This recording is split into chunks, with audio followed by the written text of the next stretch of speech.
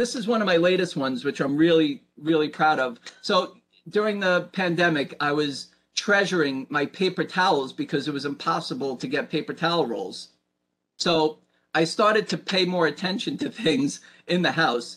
And I realized that on top of the paper towel roll, it was all wet and dirty. So I started to say, you know what? When people's hands are wet or dirty, is usually when they're reaching for a paper towel sheet. So they're putting their hands on top and they're getting it very dirty. So what I did was I started to ask my friends and family if they can take a picture of the top of their paper towel rolls, and it was disgusting. But um, at the end of the day, I came up with a product that is a cap that goes into the inner tube of any paper towel roll because obviously any roll fits on a stand or a holder.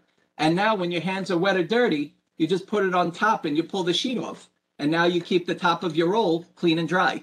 So that's my paper towel topper. It's sold on Amazon and I just got some distribution with some colored uh, colored ones, okay. um, white that are going to be in uh, TJ Maxx and Home Goods and a couple other retailers. So that one has been fun, and and uh, I'm excited about that one. That's uh, had some good traction out there.